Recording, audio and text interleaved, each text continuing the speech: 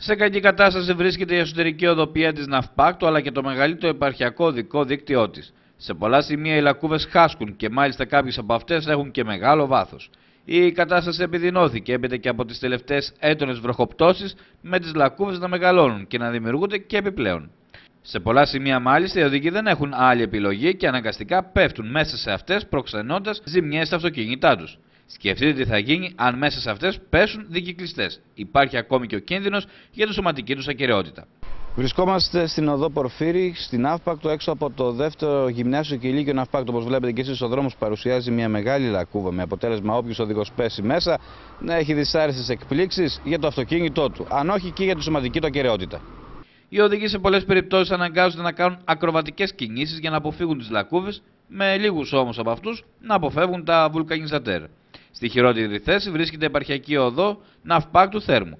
Η πολύπαθη αυτή οδική αρτηρία, την οποία καθημερινά χρησιμοποιούν εκατοντάδες οδηγοί, έχει παρατηθεί στην τύχη της.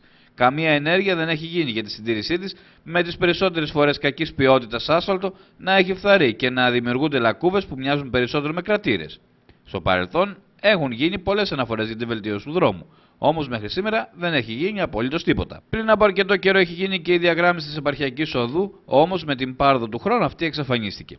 Βρισκόμαστε στην επαρχιακή οδό Ναυπάκτου Θέρμου και εδώ ο δρόμος σε όλο το μήκος του παρουσιάζει πολλά προβλήματα. Όπως βλέπετε και εσείς, οι λακκούβες έχουν σχηματιστεί και να κρύβουν κινδύνους για τους διερχόμενους οδηγούς και δικυκλιστές. Η κατάσταση χειροτερεύει όταν υπάρχουν τα όμβρια ύδατα που καλύπτουν τις λακκούβες και δεν είναι ορατές από τους οδηγούς. Ο αντιδήμαρχος Ναυπάκτου Νίκος Κατσαντώνη, ερωτώμενος για το θέμα, απάντησε πως είναι γνώστης της κατάστασης που έχει δημιουργηθεί με τις λακκούβες. Και από την ερχόμενη Δευτέρα οι υπηρεσίες του Δήμου θα προχωρήσουν στην επούλωση των λάκων, δίνοντας προσωρινά λύσεις στο πρόβλημα. Βεβαίως και έχω γνώση και εγώ ασχολήθηκα παρότι δεν είναι στην ιδιωτικότητά μου. Μπορώ να σας πω απόλυτα ότι ήδη έχουμε παραγγείλει πίσα έτοιμη σε εταιρεία, η οποία τη Δευτέρα ξεκινάμε για την επούλωση πολλών λακκουβών που είναι επικίνδυνες, άκρα επικίνδυνες και έντος της πόλη και όπως είπατε στο επαρχιακό δίκτυο με αποτέλεσμα να πέσει κανένα μηχανάκι μέσα και έχουμε κανένα ατύχημα σοβαρό. Μίλησα και με τον κύριο Σαξάμι, ζήτησα μία βοήθεια και από την Ομαρχία να συνεργαστούμε και δύο πακέτο. Αλλά μείναμε λίγο πίσω λόγω του, του καιρού, των καιρικών συνθήκων. Ναι, Πιστεύω απόλυτα ότι εμείς τη Δευτέρα ξεκινάμε για την πόλη της τα πιο επικίνδυνα ένα κομμάτι και ήδη δημοπρατούμε και ένα άλλο κομμάτι σε πίσα πάλι για τα πιο επικίνδυνα σημεία ορισμένων δρόμων. Μέχρι να βγει μεγάλη δημοπρασία των ασφαλτικών, από όσο γνωρίζω. Οι λακκούβε λοιπόν ξεκινάνε τη Δευτέρα στο Δήμο μας και πιστεύω να μας βοηθήσει λίγο ο κύριος ε, Σαξάμης που είναι στα τεχνικά έργα στο, στην Ομαρχία.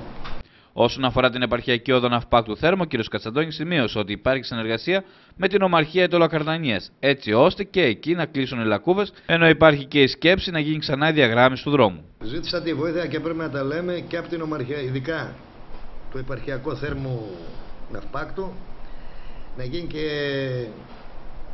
πώς τον... διαγράμμιση. διαγράμμιση και να ξαναβάψουν τις γραμμές διότι περνάνε πάρα πολλά, πάρα πολλά αυτοκίνητα και πεζοί και ο φωτισμός δεν είναι και τόσο επαρκής παρότι είναι επαρχιακό και τις ε, λακκούβες θα βοηθήσει και η νομαρχία αλλά και τις σούδες καθάρισε ένα κομμάτι θα επέμβουμε και εμείς παρότι δεν είναι δικό μας για να είμαστε έτοιμοι.